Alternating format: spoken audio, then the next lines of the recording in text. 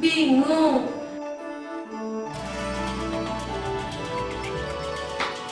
Masuk ilmu komunikasi Universitas Tadulako aja karena kita di sini belajar banyak hal, yaitu fotografi,